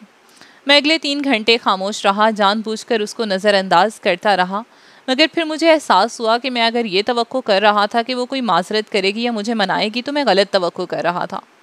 उसने तो शायद महसूस ही नहीं किया था कि उसकी कोई बात मुझे बुरी भी लगी थी। मैं कम अज़ कम वहाँ दो हफ़्ते सिर्फ़ इस बात पर नाराज़ होकर खामोश रहने के लिए नहीं आया था, आखिर ये हमारा हनीमून था। मुराद, अगर तब मुझसे ये पूछने की बजाय कि क्या मैं कहीं और शादी करना चाहती थी, ये पूछ लेता कि मैं किसी और में इंटरेस्टेड थी, किसी और से मोहब्बत करती थी तो मैं उसे हाँ में जवाब देती, मैं उसे मोमी के बारे में बता देती। उसका नतीजा कुछ भी होता, मगर मैं उससे झूठ नहीं बोलती, मैं उसे सब कुछ सच सच बता देती। लेकिन उसने मुझसे ये सवाल नहीं किया। हम दोनों दो हफ़्ते तक पीसी भूर बन रहे और उन दो हफ्तों में मुराद ने मुझे अपने बारे में सब कुछ बता दिया था। शादी से पहले और बाद की सरगर्मियाँ, अपनी गर्लफ्रेंड्स, अपने अफेयर्स, सब कुछ, उसका लहजा हमेशा फ़खरिया होता और उसके उन इंकशाफात ने मेरे दिल में मौजूद एहसास नदामत को ख़त्म कर दिया था। मैं जो हमेशा ये सोचती आ रही थी कि मैं किसी दूसरे मर्द से शादी करते हुए उसे धोखा कैसे दूँगी, मोमी के साथ अपने ताल्लुक़ को इस छुपाने के लिए झूठ कैसे बोलूँगी? मगर मुराद ने मुझे इस कश्मकश से बचा लिया था। उसकी ज़िंदगी में पाकिस्तान और कनाडा में ऐसी बहुत सी लड़कियाँ आती रहती थी, उन, उसके लिए अफेयर या फ्लर्ट एक बहुत बेज़र सी चीज़ बन गया था। वो अगर ऐसी चीज़ों में इन्वॉल्व ना होता तो उसके साथ गुजारे जाने वाला हर दिन मेरे एहसास जुर्म को बढ़ाता रहता कि मैं एक ऐसे शख्स को धोखा दे रही हूँ, जिसने मेरी तरह ज़िंदगी में कोई गलत काम नहीं किया। मगर मुराद के साथ मुझे कभी इस एहसास का सामना नहीं करना पड़ा। मैं जानती थी, अगर मेरी ज़िंदगी में मोमी ना आया होता तो मुराद के ये सारे किस्से सुनकर मेरा रद्द अमल कैसा होता। शायद नहीं, यकीनन मुझे बहुत तकलीफ़ होती, मगर अब ऐसा कोई एहसास पैदा नहीं हुआ। तुम शुरू से ही इतनी कम गो हो मैंने शादी से कुछ अरसे बाद महर से एक दिन पूछा, हम लोग उस रात एक डिनर में शिरकत के लिए जा रहे थे, मैं गाड़ी ड्राइव कर रहा था, वो मेरे बराबर बैठी थी और हंसपे आदत मेरी बातों के जवाब हूँ हाँ से दे रही थी, या चंद लफ्ज़ों से ज़्यादा एक जुमले में। तभी मैंने उससे पूछा हाँ उसने मध्यम आवाज़ में कहा। क्यों? मैंने तजस्स से पूछा, उसने हैरानगी से मेरा चेहरा देखा, क्यों? हाँ क्यों? क्यों इतनी कम गो हो? मैं फितरतन ऐसी हूँ। हालाँकि तुम अपने पेरेंट्स की इकलौती औलाद हो, ऐसे बच्चे तो बड़े शरारती और शोक मिजाज होते हैं, मैंने कहा। मेरी मिसाल तुम्हारे सामने है। हाँ मगर आप मर्द हैं, मैं लड़की हूँ, मेरी और आपकी फितरत एक जैसी नहीं हो सकती, उसने इसी अंदाज में कहा। आपको मेरी खामोशी बुरी लगती है? नहीं, बुरी नहीं लगती, फिर? अजीब। उसने कदरे हैरानगी से मेरा चेहरा देखा। बाज़ दफ़ा मुझे लगता है तुम इस शादी से खुश नहीं हो। मैंने अपने जहन में आने वाला खदशा अपने ज़ुबान पर लाते हुए कहा। आप गलत सोच रहे हैं। यानी तुम खुश हो हाँ। तो फिर खुशी का इजहार क्यों नहीं करती? खुशी का इजहार किस तरह करते हैं? उसने मुझसे बेहद अजीब सवाल पूछा। मुस्कुरा कर हंस कर बातें करके, फरमाइशें करके मैंने उससे कहा, मैं ये सब कुछ करती तो हूँ। उसने विंड स्क्रीन से बाहर देखना शुरू किया। लेकिन आप मुझसे शादी पर खुश नहीं हैं तो मैंने उसकी बात तेज़ी से काटी। वो बात को गलत रुख पर ले जा रही थी। तुमने ये नतीजा कैसे अखज़ कर लिया? मैं इस शादी से खुश नहीं हूँ, आपकी बातों से। खुदा का खौफ करो महर, मैंने हल्की सी नाराज़गी से कहा। मैं तुम्हारी खुशी की बात कर रहा था और तुम मेरी खुशी पर बात करने लगी हो, मैंने गहरा सांस लिया। मैं तो बहुत खुश हूँ, तुमको बता चुका हूँ, मेरे लिए ये लव मैरिज है। मैं तो शादी से पहले ही तुम्हारे इश्क में बुरी तरह गर्क हो चुका था। मैं उसे वक्ता फ़वक्ता ये बताता रहता था और वो आहिस्ता से मुस्कुरा दी। कुछ देर तक मैं खामोशी से गाड़ी चलाता रहा, फिर मैंने मौजू तब्दील कर दिया। मम्मी बताती हैं कि तीन साल पहले कोई, तुम बहुत मजहबी हुआ करती थी, मैंने उससे पूछा। मम्मी को गलत फहमी हुई है, मैं कभी भी बहुत मजहबी नहीं हुआ करती थी, उसने एकदम तुर्श लहजे में मेरी बात काट दी। मुझे उसके लहजे की रखाई पर हैरानगी हुई, आखिर ऐसी क्या बात कह दी थी मैंने उससे? अच्छा मगर मम्मी तो कहती हैं, तब तुम बहुत पर्दा वगैरह किया करती थी और उसने एक बार फिर उसी रखाई से मेरी बात काट दी। इतना पर्दा नहीं करती थी जितना मम्मी समझती हैं। उन्होंने मेरे बारे में कोई गलत फहमी पाली होगी। मुझे लगा वो कुछ खफा हो रही है और मुझे हैरानगी हो रही थी। आखिर इस मौजू पर बात करते हुए इस कदर नाराज़ होने की ज़रूरत क्या थी? बहरहाल, मैंने मौजू तब्दील कर दिया। मुराद सतही जहनीत का खूबसूरत मर्द था। वो अली तलीम याफ्ता था। वो अच्छे ख़ानदान से ताल्लुक़ रखता था। एक मल्टी नेशनल कंपनी में अच्छे अहदे पर फायज था। मगर उस सब के बावजूद मोमी मेरी ज़िंदगी में ना आता, मैं अपनी मर्ज़ी के लिए अपने शोहर का इंतखब करती तो मैं मुराद को कभी अपने लिए मंतखब ना करती। अम्मी ने गलत कहा था कि वो मेरे जैसा था, वो मेरे जैसा नहीं था। वो सोचे समझे बगैर बोलने का आदि था, ऐसी बातों भी दूसरों के सामने कह दिया करता, जो दूसरे मुँह से निकालने से पहले दस बार सोचते। वो वेस्टर्न एथिक्स लेकर पाकिस्तान में रह रहा था, उसकी और मेरी शख्सियत में बहुत फ़र्क था। इसके बावजूद कि मैं अपनी वसाकता से उसी की तरह की एक लड़की नज़र आती थी, मगर कभी भी अपने और उसके दरमियान कोई मुश्तरक चीज़ नज़र नहीं आई। माँ सवाए इसके कि वो भी मज़हब से इतना ही दूर था जितना मैं थी, और सिर्फ़ यही एक चीज़ थी जो मेरे लिए बायस इतमान थी। कम अज़ कम मुझे ये खदशा नहीं था, वो मुझे मजहबी फ़रज़ की अदायगी के लिए मजबूर करेगा। उसकी और मोमी की बहुत सी बातें एक जैसी थीं। शादी के शुरू के दिनों में मुझे उस कभी कभार उस, उसकी आवाज़ पर मोमी का गुमान होता। मगर ये गुमान मुझे बहुत से दूसरे लोगों की आवाज़ पर भी होता था। अगर मैंने मोमी का चेहरा देख रखा होता तो मुझे हर मर्द का चेहरा मोमी की तरह लगता। एलोयंस एलोयंस एलोयंस मगर मुराद में और भी बहुत कुछ था जो मोमी जैसा था। उसका स्टार अकरब था, उसे सफ़ेद रंग पसंद था, वो डी एंड जी लगाता था, उसे फ्राइड चिकन पसंद था, वो स्प्राइट लेमन के साथ पीता था। मैंने इन तमाम चीज़ों को मोमी के लिए इख्तियार किया था। मगर पता नहीं क्या हुआ, मुराद से शादी के इब्तदाई हफ्तों में ही मैंने आहिस्ता आहिस्ता ये तमाम चीज़ें छोड़ दी। मैं नहीं चाहती थी उसमें और मुझमें कुछ भी मुश्तरक हो। मेरा बस चलता तो शायद मैं उसको मजबूर करती कि वो इन तमाम चीज़ों के बारे में अपनी पसंद बदल ले। मैं नहीं चाहती थी कि उसमें कुछ भी मोमी जैसा हो। मैं लाशाऊरी तौर पर हर वक्त उसे हर बात में मोमी के साथ कंपेयर करती और वो हर मामले में मुझे मोमी से कमतर लगता। मैं मोमी के बारे में सब कुछ नहीं जानती थी, मगर मैं हर चीज़ इमेजिन कर दिया करती थी। मोमी कौन सी बात कहता, वो कौन सी कभी भी नहीं कहता। मोमी कौन सा काम करता, कौन सा कभी भी ना करता। मैं जिसको नहीं जानती थी, उसके बारे में सब कुछ जानती थी। मुराद बहुत सोशल था, वो मुझे हर दूसरे दिन किसी न किसी पार्टी या डिनर में लेकर जाता रहता और बेहद खुशी महसूस करता जब उसके शनासा लोग मेरी खूबसूरती और लिबास की तारीफ़ करते। उसका हल्का अहबाब मुराद से भी ज़्यादा लिबरल था। मैं उससे बाज़ मर्द डायरेक्टली मेरे जिसम की तारीफ़ करते, उन्हें मेरा फ़िगर अपील करता था और मुराद उन तारीफ़ी कलमात पर जैसे सरशार हो जाता। वो उसे बुरे नहीं लगते थे क्योंकि वो ख़ुद भी वहाँ मौजूद दूसरों की बीवियों को उन्हीं अल्फाज में सराहता इस सब के बावजूद वो मुझसे ये भी कहता कि उसे मुझसे शदीद मोहब्बत है, हो सकता है ऐसा ही हो। ये भी मुमकिन है वो मुझसे झूठ बोल रहा हो, मगर मुझे दोनों सूरतों में कोई एतराज़ नहीं था। न मुझे उसकी मोहब्बत की ज़रूरत थी, ना इस बात की परवाह कि वो किसी और से मोहब्बत ना कर रहा हो। मैं तब इनडिफरेंट थी अजीब सी बेहिसी थी जो मेरे वजूद पर तारी थी और उस बेहिसी को तोड़ने की कोशिश मुराद की मम्मी ने की थी। बेटा, नमाज़ पढ़ा करो, शादी के कुछ माह बाद एक दिन उन्होंने मुझे अपने पास बिठा कर कहा, किस लिए? मेरे सवाल ने उन्हें गंग कर दिया था। किस लिए? बेटा, हम मुसलमान हैं, इसलिए मरना है हम सबको, अल्लाह के पास जाना है। उनके लहजे में हल्की सी नाराज़गी थी। सफ़िया तो इतनी इबादत गुजार औरत है, मुझे समझ नहीं आ रहा, उसने आखिर तुम्हें ये सब बातें क्यों नहीं सिखाई? वो बुड़बुड़ा रही थी, तुम बीए में थी जब मैं पहली बार तुम्हारे घर गई थी, और मुझे तुम इसीलिए पसंद आई थी, मुझे लगा तुम नमाज़ की पाबंदी करती हो। तुम्हारी वजह कता ही और थी तब। मैंने तो तभी तय कर लिया था, मैं इसी लड़की को अपनी बहू बना कर लाना है, मगर बाद में तो मुझे तुम्हें देखकर बड़ी मायूसी हुई। मैं सर झुकाकर उनकी बातें सुन रही थी। क्योंकि तुम में ज़मीन आसमान का फ़र्क आ गया था, पर जो भी था, अब तुम इस घर में आ चुकी हो। तुम्हें हमारी नस्ल आगे चलानी है। मुराद को तो दीन का कुछ पता ही नहीं, मगर तुम्हें तो फ़िक्र करनी चाहिए। ऐसी बीवी और माँ भी किस काम की? जिसे सिर्फ़ सज संवर कर घूमना फिरना ही आता हो, दीन की अलिफ से भी वाकिफ़ ना हो। तुम सफ़िया की बेटी हो, मेरी इकलौती बहू हो।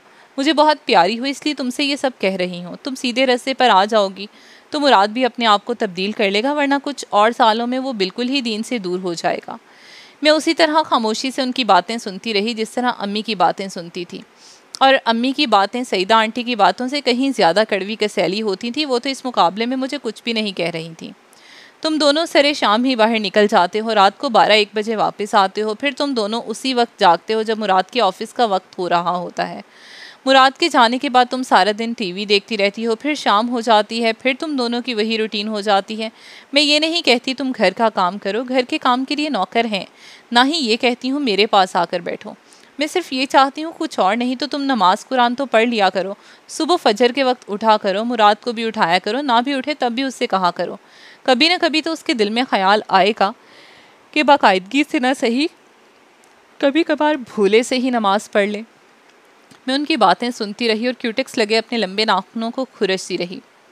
ऊपर से तुम कपड़े ऐसे पहनती हो कि मेरे दिल में हॉल उठते हैं कि या इस घर का क्या होगा। और मुराद तो है ही बेहया, उन्हें कपड़ों में तुम्हें साथ लेने के लिए पता नहीं कहाँ कहाँ फिरता है। मैंने कभी इस घर में हाफ़ स्लीव्स भी नहीं पहनी, हालाँकि मुराद के पापा का हाल भी मुराद जैसा ही था। मगर तुम स्लीवलेस कपड़े पहनती हो और आगे पीछे से तुम्हारा गला इतना खुला के, खुला होता है कि मुझे औरत होकर तुम्हें देखते हुए शर्म आती है। और अगर साड़ी पहन लो तो उसके साथ तुम इतने छोटे ब्लाउज पहनती हो कि तुम्हारा सारा जिसम उरिया हो रहा होता है। घर के मर्द मुलाजिम तुमको किन नज़रों से देखते हैं? तुम्हें उसकी भी परवाह नहीं होती। मुझे उस दिन पहली बार अंदाज़ा हुआ कि वो मुझसे नाखुश थी या शायद परेशान भी थी। तुम तो इतने अच्छे तरीके से दुपट्टा सीने पर फैलाए रखती थी, इतना वकार होता था तुम्हारे लिबास में। जब मैंने तुम्हें तीन चार साल पहले देखा था, फिर तुम्हें क्या हो गया? मैंने अब भी सर नहीं उठाया। मैं ये नहीं कहती तुम मॉडर्न लिबास ना पहनो या ये कि तुम चादर या बुरका ओढ़ो।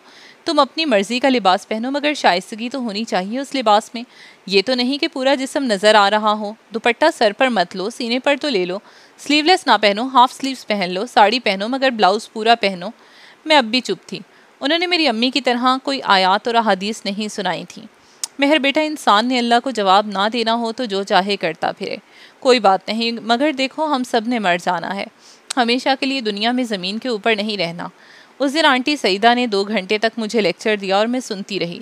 मेरी अपनी अम्मी चार चार घंटे यही काम करती थी, मैं तब भी सुनती रहती थी। आंटी सईदा को उस दिन यकीन हो गया था कि उन्होंने मेरा दिल बदल गया। मेरी अम्मी को भी हर बार यही गुमान होता था। शाम को मैं और मुराद बाहर जाने के लिए तैयार होने लगे तो मैंने अलमारी से एक चादर निकाल दी। मुराद ने चौंक कर मुझे देखा, ये चादर किस लिए? मम्मी ने कहा है कि मैं मुनासिब लिबास पहनकर बाहर नहीं जाती, इसलिए मैंने सोचा है मैं चादर ओढ़ कर उनके सामने यहाँ से जाऊँगी, फिर गाड़ी में उतार दूँगी। मैंने बड़ी रसानियत से कहा, मुझे अंदाज़ा नहीं था कि मेरा वो जुमला मुराद को इतना नागवार गुजरेगा। वो उसी वक्त कमरे से चला गया। मुझे बाद में पता चला, उसने मम्मी से इस इशू पर बदतमीज़ी की थी और उसकी वजह से पापा ने भी मम्मी को बहुत बुरा भला कहा था। मुराद मेरी नज़रों में कुछ और नीचे आ गया था। सईदा आंटी ने कुछ ऐसी बात नहीं की थी जो गलत थी। और सही बात पर उनसे लड़ना, फिर वो भी मुराद की मम्मी थी। मुराद को इतनी छोटी सी बात पर उनसे नहीं लड़ना चाहिए था। सईदा आंटी ने दोबारा मुझे कभी कोई नसीहत नहीं की, मगर उनके अंदाज में वो गर्म जोशी भी ख़त्म हो गई, जो इतने माह में मैं अपने लिए महसूस करती थी। वो मुझसे सिर्फ़ ज़रूरतन बात करती थी। शायद उनका ख्याल होगा कि मैंने मुराद को उनके ख़िलाफ़ भड़काया है। वो सारी बातें बता दी। हालाँकि मैंने मुराद से कुछ भी नहीं कहा था। सईदा आंटी अच्छी खातून थी, मेरी अम्मी की ही तरह। और बाज़ दफ़ा मेरा दिल चाहता था मैं उन्हें वजाहत दूँ। मगर पता नहीं एक अजीब सी झिझक थी जो मैं महसूस करती थी, या शायद मुझे ये खदशा था वो दोबारा नसीहत करने लगेंगी। मुराद के बरक्स मुझे उसके माँ बाप दोनों अच्छे लगते थे, उन दोनों में अपनी अपनी तरह की खूबियाँ थीं। पापा किसी मामले में मुदाखलत नहीं करते थे और ना ही कुछ इम्पोज करने की कोशिश करते थे। मम्मी बहुत मजहबी थी, मगर पापा ने कभी उन्हें अपने तरीके से ज़िंदगी गुजारने पर मजबूर नहीं किया था। मुराद बहुत ज़्यादा आज़ाद ख्याल था। पापा ने उस पर भी कोई पाबंदी नहीं लगाई। मेरे साथ भी पापा का रवैया ऐसा ही था। बहू के तौर पर उन्होंने मेरे लिए कोई दायरा खींचने की कोशिश नहीं की थी। मम्मी पापा के बरक्स और मिजाज की थी। वो तालीम याफ्ता और बहुत खुश लिबास थी, मगर वो इस तरह की मॉडर्निज़म को पसंद नहीं करती थी, जो मैंने और मुराद ने इख्तियार कर रखा था। वो अपनी बातों और मिजाज के अतबार से मेरी अम्मी की ही तरह थी। नर्म खू ख्याल रखने वाली और ज़्यादा तवक़ात वबस्ता करने वाली। हमारी शादी को एक साल होने लगा था और मैं महर के इश्क में मुकम्मल तौर पर गिरफ़्तार हो चुका था। उसकी खामोशी अब वैसे ही थी, मगर अब मैंने उसे उसकी आदत समझ लिया था क्योंकि मैं उसे किसी के साथ भी ज़रूरत से ज़्यादा बोलता नहीं देखता था। फिर मैं उसकी आदत ना समझता तो और क्या करता, मगर आदत समझने के बावजूद बाज़ दफ़ा मेरी ख्वाहिश होती, वो बोले, बात करे, उस तरह जैसे बाकी लड़कियाँ करती हैं। जैसे मेरी गर्ल फ्रेंड्स कभी मुझसे बात करती थी, मगर उसकी खामोशी थी कि ख़त्म ही नहीं हो रही थी। और जब ये ख़त्म हुई तो सब कुछ ख़त्म हो गया। उस दिन सुबह ऑफ़िस जाने के लिए से पहले मैंने महर को रात के खाने पर कुछ अहतमाम करने के लिए कहा। मेरा दोस्त मोनस चार साल बाद पाकिस्तान आ रहा था और मेरी शादी के बाद पहली दफ़ा मेरे घर आ रहा था। मम्मी और पापा उस वीकेंड पर इस्लामाबाद गए हुए थे। अगर मम्मी वहाँ ना होती तो मम्मा, मम्मी वहाँ ना गई होती तो मैं महर के बजाय मम्मी से खाने पर अहतमाम की बात करता। रात को कितने बजे आएँगे आपके दोस्त? महर ने मुझसे पूछा। वो मुझे गाड़ी तक छोड़ने आई थी। सात आठ बजे तक आ जाएगा। और देखो, तुम भी बहुत अच्छी तरह तैयार हो ना, वो पहली बार तुम्हें देखेगा। तुम वो ग्रीन साड़ी पहनना जो तुमने यजदानी के डिनर पर पहनी थी। मैंने उसे हिदायत दी, मैंने हमें, उसने हमेशा की तरह सर हिलाया। मुझे याद नहीं, उसने मेरी किसी बात से इख्तलाफ किया हो या इनकार किया हो, और मुझे उसकी आदत और लगने के बावजूद पसंद थी। मुनस, ये मेरी बीवी महर। और महर, ये मुनस है। मुराद ने मुनस के साथ मेरा तारुफ करवाया। चार साल के बाद ये पाकिस्तान आया है और आते ही सबसे पहले मेरे यहाँ खाना खा रहा है। वो इसलिए भाभी, क्योंकि इसने पिछले एक साल में मुझ तक आपकी इतनी तारीफ़ें पहुंचाई हैं कि मुझे आपसे मिलने का शौक़ पैदा हो गया था। मैं मुनस की बात पर मुस्कुराई, मिलने का या सिर्फ़ देखने का? मुराद ने बेतकल्लुफ़ी के साथ कहा, मुनस मुझे देखते हुए उस जुमले पर कुछ झेंपा। नहीं, मिलने का? शादी की कुछ तस्वीरें तो मेरी ईमेल के ज़रिए तुमने भिजवाई थी। हाँ और तुमने तायद की थी मेरी बात की कि हाँ बड़ी खूबसूरत बीवी है मेरी। अब ज़रा वैसे देख कर बताओ, अपनी इस राय पर कायम हो, मुनस उसकी बात पर और झींपा। मैं समझता था कि तुम कुछ ठीक हो गए हो। मगर तुम अभी भी उसी तरह हो। इस पर उसने मुराद से कहा हाँ मैं तो इसी तरह हूँ और मुझमें तो अगले तीस साल तक कोई तब्दीली नहीं आएगी। अब मेरी बीवी खूबसूरत है तो क्या मैं ये ना पूछूँ कि खूबसूरत है या नहीं? मैं खाना लगवाती हूँ। उससे पहले मुनस कुछ कहता, मैं उठ खड़ी हुई। मुझे एहसास हुआ कि मुनस ने यकीनन मेरे वहाँ जाने, वहाँ से जाने पर खुदा का शुक्र अदा किया होगा। तुम्हारे प्रैक्टिकल जोक्स का अब क्या हाल है? मुनस ने खाने की मेज़ पर मुराद से पूछा, शादी कर ली, इससे बड़ा प्रैक्टिकल जोक और क्या होगा? मुराद ने उसी अंदाज में कहा भाभी को पता है तुम्हारे चक्करों का मुनस ने अचानक बड़ी मानी खेस मुस्कुराहट के साथ कहा हाँ यार, सब पता है, अपनी सारी गर्लफ्रेंड्स के बारे में बता चुका हूँ। मुराद ने कंधे उचकाते हुए कहा, मुनस ने भी यकीनी से मुझे देखा। वाकई भाभी, मैंने जवाब नहीं दिया, सिर्फ़ मुस्कुरा दी और तुम्हारे प्रैक्टिकल जोक्स उनके बारे में बताया है भाभी को। इनके बारे में तुम बता दो, तुम किस लिए आए हो? मुराद ने मुस्कुराते हुए कहा मैं चुपचाप उन दोनों की गुफ्तगु सुन रही थी। मैं ना मुराद के अफेयर्स में दिलचस्पी थी, ना उसके प्रैक्टिकल जोक्स में, मगर हमेशा की तरह एक चुपचाप मुस्कुराहट से उन दोनों की बातें सुन रही थी। वो एक्सीडेंट वाला कारनामा सुनाया था अपना, मोनस अब कह रहा था, कौन से एक्सीडेंट वाला? मुराद ने माथे पर चंद बलों के साथ पूछा डोंट टेल मी कि तुम्हें अपना कनाडा जाने से पहले आखिरी कारनामा भूल गया? मोनस ने कुछ तनबीही अंदाज में कहा। मुराद ने एकदम कह कहा लगाया माय गॉड तुमको भी क्या याद आ गया? वो fake accident good gracious Murad ने अपनी प्लेट में चिकन का एक और टुकड़ा रखते हुए कहा, भाभी, मुराद को हमेशा अल्ट्रा मॉडर्न लड़कियाँ पसंद हैं। उसे पर्दा करने वाली लड़कियों से बड़ी चिड़ होती थी। मुनस अब मुझे कह रहा था चिड़ मुझे उनसे नफ़रत थी और मुझे जितनी नफ़रत थी, मुनस साहब को उतनी ही हमदर्दी थी उनसे। मुराद ने मेरी तरफ़ मतवजो होते हुए कहा, एक दिन मैं रात के वक्त मुनस के घर, उसके घर से कोई कॉल करने गया कि लाइन क्रॉस हो गई। दो लड़कियाँ फ़ोन पर बात कर रही थी। एक लड़की लिबरल थी, दूसरी कुछ ज़्यादा ही दीनदार भी। वो पहली लड़की को बड़ी नसीहतें कर रही थी, मुराद के लहजे में बड़ी तजहीक और तहकीर थी। बॉयफ्रेंड बनाना गलत है, ये गलत है, वो गलत है। मैं और मुनस काफ़ी देर उनकी बातें सुनते रहे। मुनस बड़ा मुतासर हुआ उस दूसरी लड़की की बातों से। मुराद ने छेड़ने वाले अंदाज में मुनस से कहा, नहीं भाभी, ये बात नहीं थी, वो लड़की बातें ठीक कर रही थी और जो कुछ वो दूसरी लड़की को समझा रही थी, वो भी ठीक था। मुराद ने मुनस की बात मज़ाक उड़ाने वाले अंदाज में काटी। मैंने तुम्हें बताया था ना कि इस ज़माने में मुनस को ऐसी लड़कियों से बड़ी अकीदत हुआ करती थी। फ़ोन तो हमने बंद कर दिया, मगर उन दोनों लड़कियों के हवाले से हम दो तीन घंटे बहस करते रहे। बस ये इत्तफाक ही था कि अगले कुछ दिन में मोनस के घर जाता रहा। उस मखसूस वक्त जब भी हम कॉल करते, फ़ोन की लाइन क्रॉस होती, उस वक्त वही दो लड़कियाँ बात कर रही होती। मैं तो तंग आ गया उसकी नसीहतें सुन सुनकर। मुझे यूँ लगता है जैसे दुनिया में वही एक पारसा हो, उसका नजूल अभी कुछ देर पहले जन्नत से हुआ हो। मोनस मुराद की बात पर हंस पड़ा। मैंने एक दिन मोनस से शर्त लगाई, ये लड़की जो दूसरों को बड़ी नसीहतें करती फिर रही है, उसे खुद कोई मौका मिलेगी, दूसरी लड़की से भी बढ़कर कारनामे करेगी। खौफ की एक सर्द लहर मेरी रीढ़ की हड्डी से गुजरी थी, मुझे सोबिया और अपनी गुफ्तगु याद आने लगी थी। फ़ोन, वक्त, दो लड़कियाँ बॉयफ्रेंड नसीहतें लिबरल दीनदार। मैं पलकें झपकाए बगैर मुराद का चेहरा देख रही थी, दोनों लड़कियाँ हम नहीं हो सकती थीं। आपके शौहर का जहन शैतानी जहन है भाभी, मोनस ने मुझसे कहा हाँ और तू तो बड़ा फरिश्ता है, मुराद ने कहा। मैं बेहिसो हरकत उन दोनों को देख रही थी। वो हँसते, गप्पे लगाते, खाना खाते हुए उस किस्से को दोहरा रहे थे। पाँच सौ की शर्ट लगाई थी मैंने मुनस के साथ कि मैं तुम्हें इस लड़की को ट्रैप करके दिखाता हूँ। और मैंने कहा, नहीं, हज़ार की शर्ट लगाओ, क्योंकि मुझे यकीन था कि ये शर्ट हार जाएगा। वो लड़की अपनी बातों से इतने मज़बूत किरदार की लगती थी, मुनस कह रहा था। और मैंने उससे ये भी कहा कि अगर एक बार ये लड़की के साथ फ्लर्ट करने में कामयाब नहीं हुआ तो फिर आइंदा पर्दा करने वाली लड़कियों के बारे में अपनी बकवास बंद रखेगा। ईमानदारी की बात है महर। अगर मैं उस लड़की को ट्रैप करने में नाकाम रहता तो मैं वाकई उन लड़कियों के बारे में अपनी राय तब्दील करने पर मजबूर हो जाता। और ये भी मुमकिन था कि उस लड़की से शादी ही कर लेता। उसके बावजूद कि इस ज़माने में, मोनस ने उसकी बात काटी हर ज़माने में। ओके, हर ज़माने में मुझे अल्ट्रा मॉडर्न लड़कियाँ पसंद थीं। लेकिन वो लड़की वाकई इतने अच्छे किरदार की होती जितना वो अपनी बातों से ज़ाहिर करती थी तो मैं ज़रूर। मोनस ने एक बार फिर मुराद की बात काटी। हमारे एक दोस्त का बाप एक्सचेंज में था। मुराद ने उसके ज़रिए मेरे फ़ोन को चेक करवा कर दोनों नंबरों को ट्रेस करवा लिया। और फिर ये उस लड़की को फ़ोन करने लगा, क्या नाम था उस लड़की का? मुराद उस लड़की का? मोनस पूछ रहा था। उस लड़की का नाम, उसका नाम मुराद हाथ रोककर सोचने लगा हाँ मीमी नाम था। मेरे कानों में एक धमाका हुआ था या पिघला हुआ सीसा था जो उतारा जा रहा था। सामने बैठा हुआ मर्द कौन था? क्या कह रहा था? क्यों कह रहा था? मैंने उसे अपना नाम मोमी बताया था। ये मोनस का निकनेम है। मीमी और मोमी ज़बरदस्त कॉम्बिनेशन बन गया था। मुराद हंस रहा था। वो लड़की चंद बार की गुफ्तु के बाद ही मुझे शादी पर मजबूर करने लगी। तब मैंने प्लान किया उसको कहीं बाहर मिलवाते हैं और हम दोनों उसे शर्मिंदा करेंगे। मगर वो मिलने पर किसी तरह रजामंद ही नहीं हो रही थी। फिर मैंने उस दिन उसे मोबाइल पर फ़ोन करके यूँ ज़ाहिर किया जैसे मैं अपनी बाइक से गिर गया हूँ और शदीद ज़ख्मी हूँ। मैंने उसको मदद के लिए आवाज़ें दी, मगर वो लड़की नहीं आई।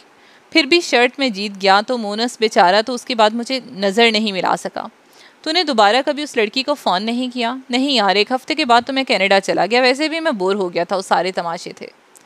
क्या हुआ? महर, खाना क्यों छोड़ दिया? मुराद ने पहली बार मुझ पर गौर किया। मैंने भी पहली ही बार मुराद को देखा था या मोमी को देखा था। उसकी आवाज़ जैसे मैं अलुयन समझती रही, वो चार साल के बाद एक चेहरा बनकर मेरे सामने आ गई थी। सानू किबलाते काबा सोना यार दसींदा। सानू किबलाते काबा सोना यार दसींदा। मैं चार साल के बाद उस शख्स को देख रही थी जिसके लिए इश्क हकीकी से इश्क मजाजी पर आई थी। तेरे इश्क ने डेरा मेरे अंदर की था भर के जैर प्याला मैं ता आपे पीता। मैंने जिस आदमी के लिए चार साल में रूह को जिस्म बना डाला था, वो मेरी पारसाई को हज़ार रुपये के लिए जाँच रहा था। कोई तलिस्म था जो टूटा था, मगर कहाँ टूटा था? और इंसान शर को इस तरह माँगता है जैसे खैर को। बेशक इंसान बड़ा ही जल्दबाज वाक़ हुआ था। मेरे हाथ से कांटा छूटकर प्लेट में गिरा, फिर छुरी। मेरे हाथों की गिरफ्त से बाकी सब कुछ चार साल पहले छूट गया था। जिस मर्द के लिए सब कुछ छोड़े बैठी थी, उसके लिए मीमी क्या थी? कुछ नहीं।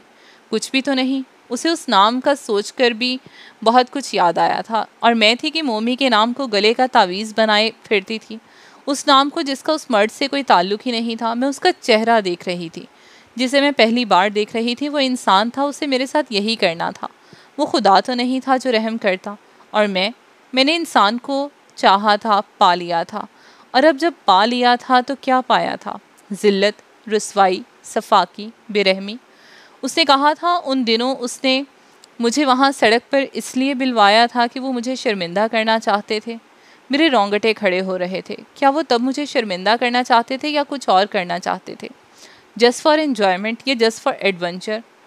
और इंसान शर को इस तरह माँगता है जैसे खैर को। बेशक इंसान बड़ा जल्दबाज वाक़ हुआ है। और आईना मुझे अपना आँख दिखा रहा था। मेरा मेकअप से लिथड़ा चेहरा, मेरे तराशीदा बाल, मेरे उरियाँ बाजू, सीना, शफून की महीन साड़ी से झलकता ब्लाउज से नीचे, कमर और नाफ तक का मेरा जिसम। मैंने बेयकीनी से उस शख्स को देखा। ये महर समी नहीं हो सकती थी। ए अल्लाह, आपके फ़ज़ल और मेहरबानियों की कोई कमी नहीं। मैं कदम कदम पर आपको एहसान करता हुआ पाती हूँ। मुझसे आपकी मेहरबानियों का शुक्र अदा नहीं हो पाता। मेरी इस कमी को दरगुजर फरमा, मुझे हर दर्द और तकलीफ़ से महफूज रख। मेरे दिल के सुकून और मेरी खुशियों की हिफाजत फरमा। चार साल बाद मेरी माँ की आवाज़ किसी इसमें आज़म की तरह मेरे वजूद के अंदर गूंजने लगी थी। और चार साल बाद, ठीक चार साल बाद मुझे अल्लाह याद आ गया था। और जो इंसान की शारक से ज़्यादा करीब होता है, वो जो इसके ज़ाहिर और बातिन को जानता है, दोनों को अयाँ करने की कुदरत रखता है। वो जिसने चार साल पहले उस दिन मेरे सारे रास्ते मसदूद करके मुझे घर से निकलने नहीं दिया, उन दोनों के सामने जाकर मुझे ज़िल्लत नहीं दी, उसके बावजूद कि मैं गलत रास्ते पर थी। पर उसने मेरे ऐप को ढांप दिया, मुझ पर रहम किया, मेरे चेहरे पर कालत नहीं मिली। वो अल्लाह जिसने मेरी ज़ुबान गंग करके मेरे माँ बाप के सामने मेरी इज़्ज़त रखी, और वो अल्लाह जिसने उसी शख्स को मेरा मुकद्दर बनाया जिसके लिए मैंने दुआ नहीं ज़िद की थी। और इंसान शर को उस तरह माँगता है जैसे खैर को बेशक इंसान बड़ा ही जल्दबाज वाक़ हुआ है। चार साल बाद मुझे वो अल्लाह याद आया था जिससे मैं रहम मांगती थी और वो मुझ पर रहम करता था। और मैं चार साल के बाद उसके सामने खड़े होने के काबिल नहीं थी। सानू किबला ते काबा सोना यार दसींदा। और मैंने उस इश्क का असली चेहरा देख लिया था जिसे मैं किबला और काबा बनाए बैठी थी। हज़ार रुपया। मैंने अल्लाह को एक मर्द के लिए जांचा था, उस मर्द ने मुझे एक हज़ार रुपये के लिए। हिसाब बराबर हुआ। सानू किबलाते काबा, सोना यार दसींदा मैंने साड़ी के पल्लू के साथ अपने उरिया जिसम को ढांपने की कोशिश की, मैं नाकाम रही। शफून की साड़ी बरहना जिसम को ढांप लेती, मगर मेरी तो रूह उरिया हो रही थी। और इंसान शर को इस तरह माँगता है जैसे खैर को। बेशक इंसान बड़ा ही जल्दबाज वाक़ हुआ है। हाँ मैंने चार साल पहले रातों को जाग कर तहजद में अपने लिए शर ही लिया था। वो शर जिससे अल्लाह ताला ने मुझे बचा लिया था, मगर मेरी ज़िद थी। मुझे वो मिले और वो ही मिले तो फिर उसने मुझे वो दे दिया था। आखिर मुझे अल्लाह से मांगना आता था, मेरी दुआ कैसे ना कबूल करता। मैं चार साल पहले की महर समी होती और मोमी मेरी ज़िंदगी में ना आया होता तो मैं मुराद जैसे किसी शख्स को अपनी ज़िंदगी का साथी कभी ना बनाती। सती जहनीत का वो खूबसूरत मर्द वो आदमी नहीं था जिसके साथ मैं अपनी ज़िंदगी गुजारना चाहती थी। उसे अल्लाह ने मेरे मुकद्दर में लिखा भी नहीं था, मगर मैंने ज़िद की थी। दुआ से अपना मुकद्दर बदला था और उस बदले हुए मुकद्दर को देखकर अब मुझे खौफ आ रहा था। मैं कैसे उस आदमी के साथ रहूँगी जिसे मैंने खुद लिया था? मेरा दिल चाहा मैं उस घर से भाग जाऊँ, दुनिया से भाग जाऊँ। वहाँ अब मेरे लिए कुछ नहीं रहा था। चंद मिनट लगे थे मुझे अपने कमरे से कार की चाबी उठाते हुए और अपना मोबाइल लेते। मैंने उस घर पर आखिरी नज़र भी नहीं डाली। मैंने उस घर के लिए बहुत बड़ी कीमत अदा की थी। मुझे पता नहीं था, भाभी को ये सब कुछ इतना बुरा लगेगा। तुम्हें चाहिए था मुझे रोक देते मुनस ने माजरत खाना अंदाज में महर के डाइनिंग रूम से निकलने के बाद मुझसे कहा, मैं खुद भी तब तक तशवीश में मुबतला हो चुका था। वो कभी इस तरह नाराज़ नहीं होती थी, बल्कि एक साल में वो कभी मुझसे नाराज़ हुई ही नहीं थी। मैंने तो कोई पहली बार उसके सामने गर्लफ्रेंड का ज़िक्र नहीं किया था।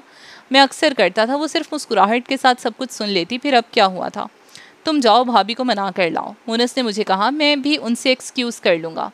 हाँ मुझे लगता है यही करना पड़ेगा। तुम खाना खाओ, मैं उसे लेकर आता हूँ। मैं अपनी कुर्सी छोड़ते वक्त बाहर लाउंज में निकल आया। तभी मैंने बाहर गाड़ी स्टार्ट होने की आवाज़ सुनी। मैं हक्का बक्का रह गया। वो घर से बाहर जा रही थी। इस वक्त वो भी इतनी मामूली सी बात पर नाराज़ होकर मैं तकरीबन भागता हुआ बाहर पोर्च में आया। तब तक बहुत देर हो चुकी थी। उसकी गाड़ी गेट से बाहर निकल चुकी थी और चौकीदार गेट बंद कर रहा था। मेरी तशवीश में एक और इजाफा हुआ। आखिर वो इस तरह गई कहाँ थी? लाउंज में वापस आकर मैंने फ़ोन उठाया, उसके मोबाइल पर कॉल की। मुझे उम्मीद थी मोबाइल उसी के पास होगा, मगर मुझे खदशा था, वो मेरी कॉल रिसीव नहीं करेगी। मेरा खदशा ठीक साबित नहीं हुआ, उसने मेरी कॉल रिसीव कर ली थी। तुम कहाँ जा रही हो मेहर? मैंने उसकी आवाज़ सुनते ही कहा, मैं एक सड़क पर हूँ और ये सड़क मेरे घर जा रही है। मुझे शुबह हुआ, उसकी आवाज़ भर्राई हुई थी। और मैं अपने घर से दोबारा कभी तुम्हारे घर नहीं आऊँगी। आई एम सॉरी मेहर, मुझे तुमसे ऐसी बात नहीं करनी चाहिए थी। मगर इतनी नाराज़गी उसने मेरी बात काटी। मैंने अपनी ज़िंदगी के चार साल जिस शख्स की मौत के सोग में गुजार दिए, उसके नज़दीक में सिर्फ़ एक प्रैक्टिकल जोक थी। एक बेट बस, वो अब रो रही थी। मुझे उसकी बात की समझ नहीं आई। क्या हक पहुँचता था तुम्हें किसी की पारसाई को जज करने का? क्या तुम खुदा थे? महर, मैंने कुछ कहना शुरू किया। मैंने एक गलती की और तुमने मुझे दोजख में फेंक दिया। मैंने एक गुनाह किया था, मगर मैं बुरी लड़की तो नहीं, बन गई थी। मगर तुमने तो पूरी दुनिया की कालक उठाकर मेरे मुँह पर मल दी। तुम क्या कह रही हो महर? मैं तकरीबन चिल्ला उठा। मीमी, महर नहीं, मीमी, वो बिलकते हुए कह रही थी और मुझे जैसे गश आ गया था। मीमी तो क्या वो मीमी थी? वही लड़की? ओ मेरे खुदा, एक भूल, सिर्फ़ एक भूल हुई मुझसे और तुमने मुझे वो भी नहीं बख्शी। अल्लाह तो क्या कुछ माफ़ नहीं कर देता, मैंने तुम्हारे लिए अल्लाह को छोड़ दिया। I made a wrong choice I preferred you वो बहुत ज्ञानी अंदाज में कह रही थी और मैं कुछ बोलने के काबिल नहीं था। तब मुझे शर्मिंदगी नहीं, सिर्फ़ शौक लगा था। हम सब इंसान हैं। हम सबसे गलतियाँ हो जाती हैं। फिर तुमने मेरी गलती पर मेरी ज़ात को चुराहे, में तमाशा बनाकर क्यों रख देना चाहा? मेहर, तुम वापस आओ, हम दोनों बैठ कर बात करते हैं। तुम्हें मुझसे जो भी कहना है, घर आकर कहो, मेरे सामने आकर। मैंने बिल आखिर अपने आसाब पर काबू पाते हुए कहा, मुझे तुमसे घिन आती है मुराद, मुझे तो अपने आप से भी घिन आती है। मैं मैं तो किसी को भी मुँह दिखाने के काबिल नहीं रही, ना तुमको, ना अल्लाह को, किसी को भी नहीं।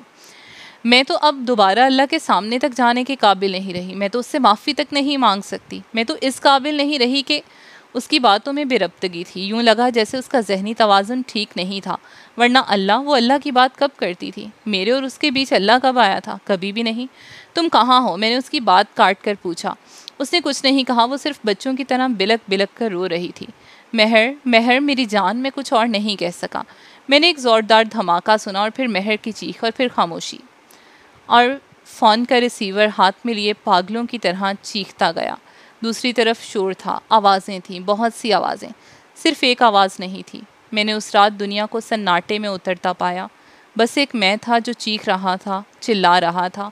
और उस लम्हे ज़िंदगी में पहली बार मुझे अल्लाह याद आया।